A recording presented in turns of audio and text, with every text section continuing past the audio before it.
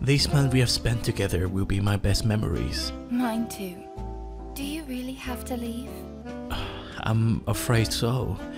My sabbatical years is about to end. Well, before you go, I must confess something. Come, bring me your hand.